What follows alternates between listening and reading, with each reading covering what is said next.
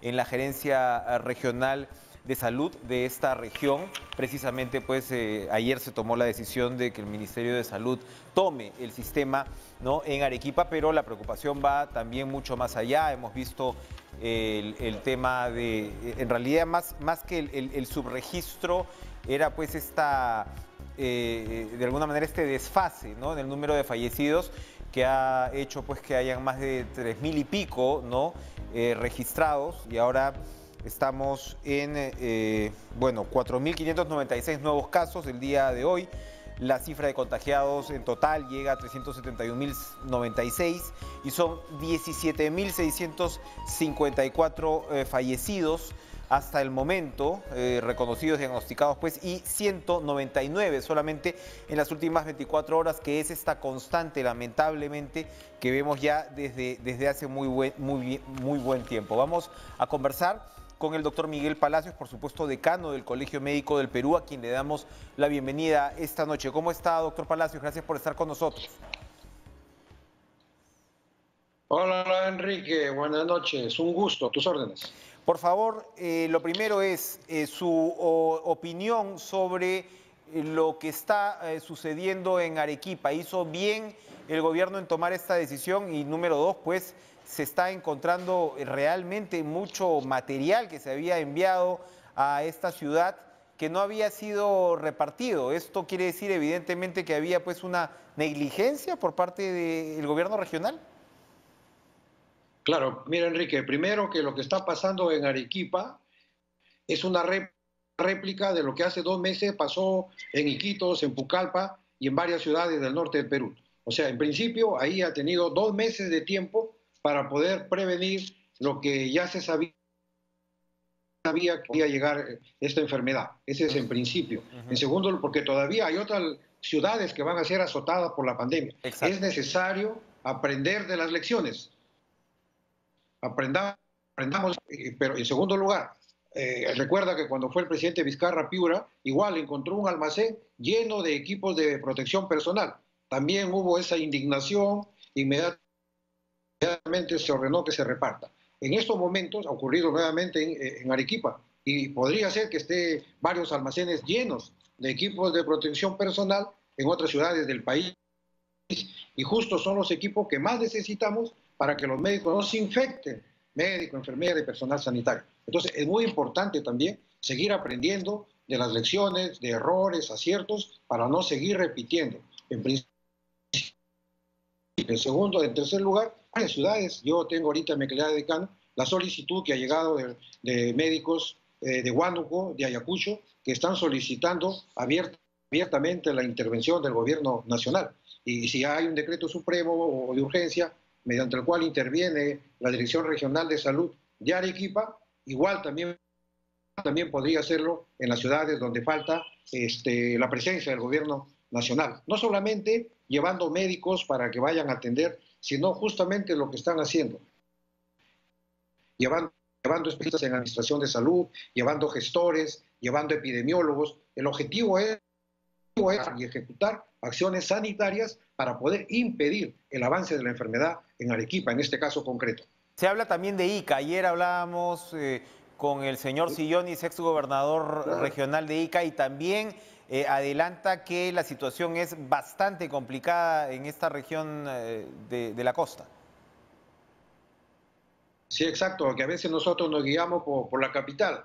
Entonces decimos ICA y, y, bueno, hay que cuidar que en Chincha está subiendo los casos. Decimos Puno y hay que ver que Puno sube a predominio de Juliaca. Y entonces así varias ciudades, igual Cajamarca, Cajamarca la ciudad está con una alta incidencia y en Jaén disminuye, pero en promedio, en esta ciudad que te mencionaba, en promedio, están en alza. Recuerda que la distribución del virus tiene ese, ese, ese mapeo que ya conocemos. Va a la ciudad, como dicen Iquitos, azotó a la ciudad y luego bajó, bajó la incidencia en la ciudad y se distribuye por los pueblos aledaños.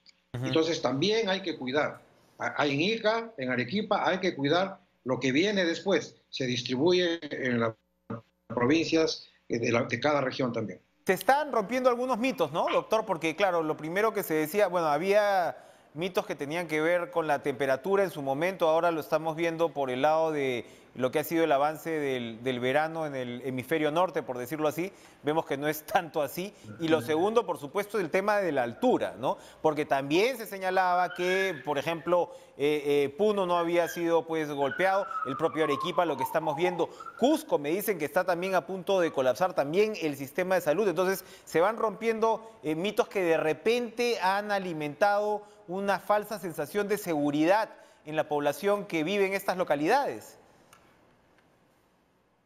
Sí, exacto, Enrique, a pesar que toda la vida hemos repetido que esta pandemia tiene más incertidumbres que certezas. Había incluso un trabajo de investigación realizado en Puno, donde se señaló que había menos pacientes con sobrepeso y que por eso no, no había incidencia alta, que había población rural, que había más distanciamiento social, que la altura, y que todos esos factores impedían que la enfermedad llegue. Y mira, todo eso, como has dicho tú, son una serie de mitos que poco poco se han venido eh, también derribando. En Arequipa se mencionaba que la radiación ultravioleta. Entonces, de repente, la creencia de estos mitos, como bien has mencionado, y obviando la recomendación de la Organización Mundial de la Salud, que esta pandemia tiene más incertidumbres que certezas, hizo tal vez que, que se descuiden las fuerzas para preparar cada capital, cada provincia de la llegada del coronavirus. Ahora ya hemos aprendido,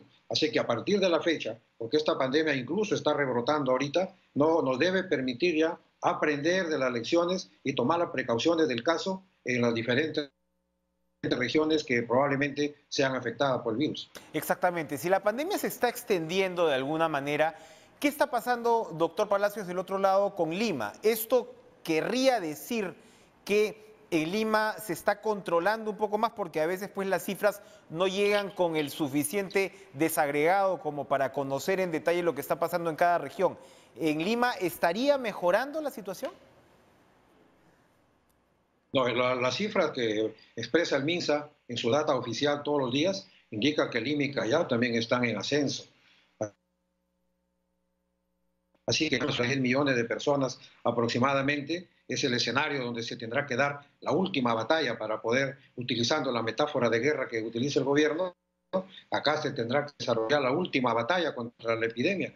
Está subiendo en Huancavelica, que tiene 200 mil personas, está subiendo en Arequipa, esa magnitud grave que está, que tiene un millón y pico de, personas, que, concentra esa cantidad de personas, en Lima, con cerca de 10 millones, este, es obvio que, los, que las cifras también estén subiendo. De tal manera que la tendencia sí es que sube en algunas regiones.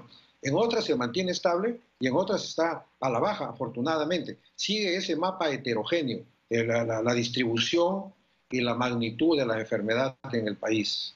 Para, ir terminando entonces, doctor, eh, por el otro lado, vemos en el oriente del país donde se vivió una emergencia muy complicada y ahí sí parece haber retrocedido. Eh, ¿Son ciertas, por ejemplo, las versiones que se hablan de la inmunidad de rebaño, que hay un porcentaje ya lo suficientemente grande, entre comillas, que ha sido eh, contagiado entre la población y eso eh, podría hacer que la pandemia retroceda?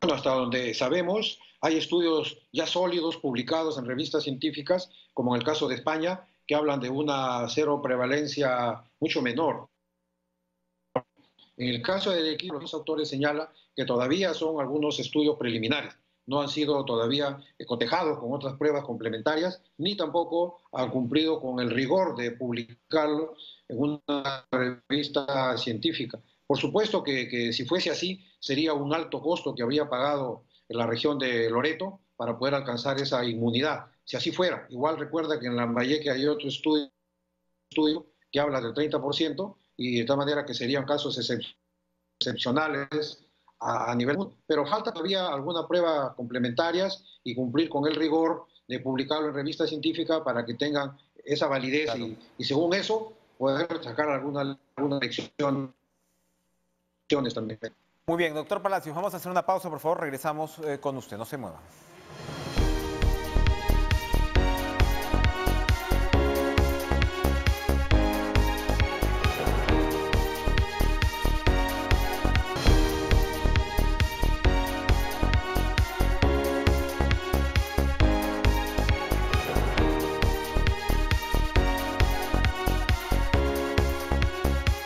Doctor Miguel Palacios, decano del Colegio Médico del Perú, hoy hemos tenido 4.596 nuevos casos diagnosticados. Esto contrasta con los 3.200, 3.500 que teníamos antes de que se reiniciara ¿no? Eh, buena parte de las actividades económicas. El gobierno, sin embargo, ha dicho que, o bueno, o ha dado a entender, la ministra Pilar Macetti luego corrigió esta, esta declaración, pero aparentemente pues la intención del gobierno no va por el lado de regresar a una cuarentena. ¿Qué se puede esperar entonces con esta situación donde la economía de alguna manera tiene que seguir avanzando y eh, el avance al mismo tiempo, como usted lo ha descrito antes de esta pausa, de la pandemia que tiene muchas caras, ¿no? Sí, exacto, pero mira, recuerda Enrique que la reactivación económica es un proceso que avanza por etapas. La primera de ellas comenzó en mayo. Acuérdate, comenzó en mayo, donde se autorizó que dos millones, casi 800 personas se integren a las actividades productivas. Este, luego vino la, segunda fase en junio y, a partir del primero de mayo, que fue el pico más alto, los casos comenzaron a disminuir.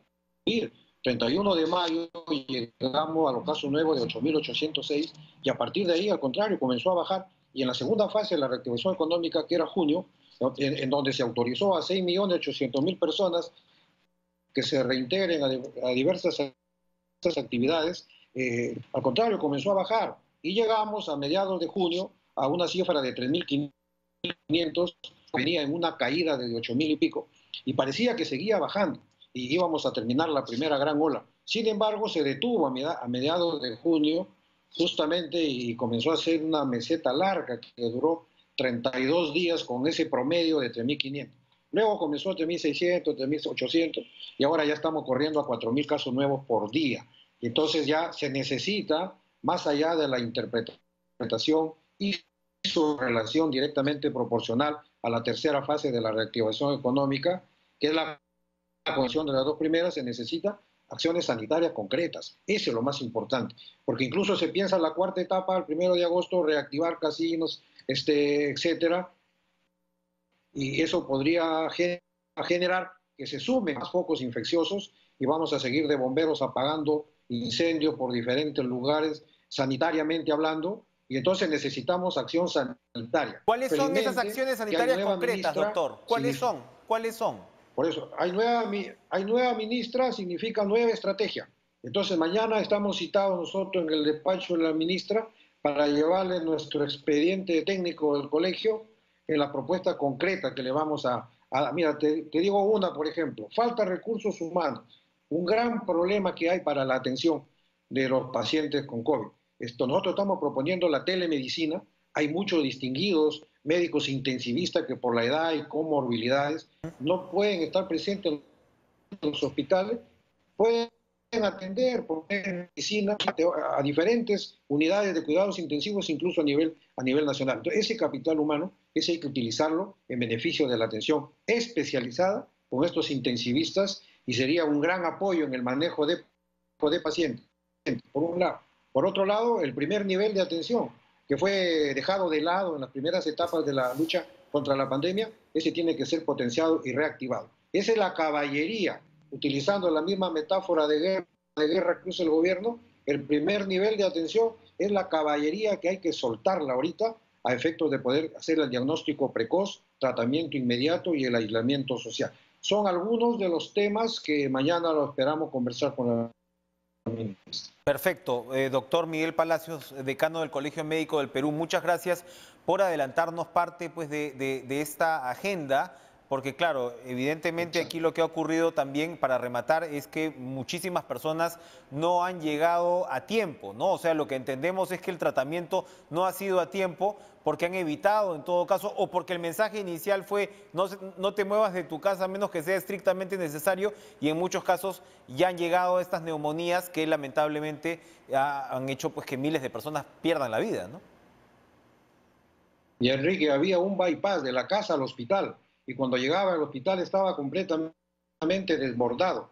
Y, entonces se retrocedían y se refugiaban a sus casas y cada quien a buscar oxígeno por diferentes lugares de la ciudad sin orientación médica, sin auxilio profesional, y eso traía complicaciones que podrían incluso justificar la alta mortalidad. Por eso, el primer nivel es el intermediario. Antes de ir al hospital, el primer nivel puede resolver, diagnosticar, tratar y hacer seguimiento de los pacientes. Esperemos que mañana podamos, podamos convencer a la ministra de la urgente necesidad de caballería y poder eh, atenuar la transmisibilidad del virus. Doctor Palacios, muchas gracias por estar con nosotros esta noche, decano del Colegio Médico del Perú. Vamos a continuar con más, vamos a continuar, vamos a ir a una pausa, ¿no? Vamos a ir a una pausa y regresamos con el congresista de Cusco de Acción Popular, Jorge Vázquez, con quien vamos a hablar además de lo que ocurre en su región, de una agenda muy puntual e interesante. No se muevan.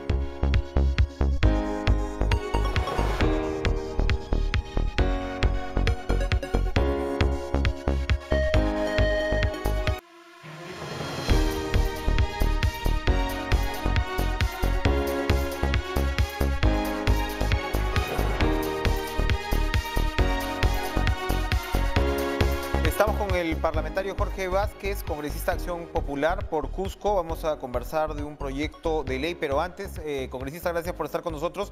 Quiero preguntarle sobre una noticia que se acaba de dar a conocer, que es que el Comando COVID-19 de su región eh, ha confirmado que está ingresado a la fase 4 de la pandemia. Los contagiados suman más de 300 por día y se le ha pedido a las autoridades incluso retornar a un tema pues, de cuarentena más estricta. Eh, rápidamente, ¿qué nos puede comentar sobre el estado de la pandemia en la región imperial? Eh, muy buenas noches a, todos por su intermedio y muchísimas gracias por permitirme una entrevista, conversar con ustedes. Eh, obviamente nosotros estamos bastante preocupados por lo que está ocurriendo en nuestra región. hemos estado el día de hoy también coordinando con la vicegobernadora respecto al tema de la cuarentena focalizada en la ciudad de la Convención y también ahondar, eh, digamos, el pedido de 50 camas más para la provincia de Canchis y la provincia de la Convención. Creo que tenemos que todos aunarnos y hacer el mayor de los esfuerzos para que, obviamente, esta lucha en, frente a esta crisis sanitaria se dé de la mejor manera. Lamentamos mucho que esté ocurriendo esto, pero eh, estamos haciendo de los mayores esfuerzos y obviamente vamos a también eh, coordinar con el gobierno regional, con el comando COVID y con el Ministerio de Salud para que podamos enfrentar de la mejor manera esta situación. Muy, muy, muy preocupante. Eh, congresista Vázquez, cuéntenos por favor de este proyecto de ley que plantea que los parlamentarios andinos sean representantes del Congreso. ¿En qué consiste y en qué se justifica? Bueno, eh, muchísimas gracias. Eh, en realidad este proyecto, el 5602 que nosotros hemos presentado, lo que estamos haciendo es de que en realidad este hecho de elegir parlamentarios andinos, eh, independientemente, vamos a decir, de una elección de los congresistas, vamos a decir, dentro del Congreso, estamos queriendo que se retorne a lo que anteriormente era, en nuestra propuesta que corresponde a que esta función parlamentaria, vamos a decir, de representación internacional, se convierta en una comisión, vamos a decir, especial, que esté constituida por los mismos congresistas que somos elegidos también igual por voto universal y no se gaste más dinero de lo que ya se está gastando hasta la fecha. Actualmente tenemos cinco congresistas eh, parlamentarios que cumplen con toda la función que indica el Parlamento andino, pero que en realidad no está cumpliendo al 100%, yo diría que incluso ni siquiera al 50%, y genera un gasto adicional al Estado. Por lo tanto, igual que en los otros países como es eh, Chile y Colombia, podemos eh, que los mismos parlamentarios que son elegidos para el Congreso ordinario puedan ser representantes en el Parlamento andino como una comisión más. Estaríamos ahorrándonos en un costo aproximado de casi 12 millones y medio de dólares en todo el periodo, que fácilmente podría ser invertido de mejor manera, solo considerando el costo directo de lo que significan los parlamentarios andinos. Si vamos más allá a un ratio de los congresistas en, en toda forma global, considerando los 130 más los 5 congresistas del Parlamento andino, estamos hablando casi de un ratio de 4 millones y un ahorro de unos 50 millones de, de, 27 millones de, de, dólares, ¿no? Claro, es un, es un digamos, es, es un despliegue de recursos que probablemente sea difícilmente justificado, no solamente dadas las circunstancias, sino porque claro, si bien hay que seguir en la línea de la, integración andina, por momentos las políticas han ido eh, separando a los países y efectivamente pues es poco lo que se sabe muchas veces del trabajo de los parlamentarios andinos, lamentablemente. Gracias, congresista Jorge Vázquez, por venir a compartir con nosotros este proyecto de ley, entonces que plantea que los parlamentarios andinos sean representantes regulares del Congreso en realidad e integren pues una, una comisión para tal fin. Gracias por estar con nosotros esta noche. Gracias a lo contrario y eh, por, por atender y para cualquier cosa en la, estamos a vuestra disposición. Muchísimas gracias. Muchas gracias. Vamos a ir a una pausa más y vamos a regresar con el ministro de Agricultura. Ya no, ah, vamos a, va- vamos a, vamos a, ya lo tenemos. No lo tenemos. Vamos a ir a una pausa entonces. Vamos a una pausa y regresamos.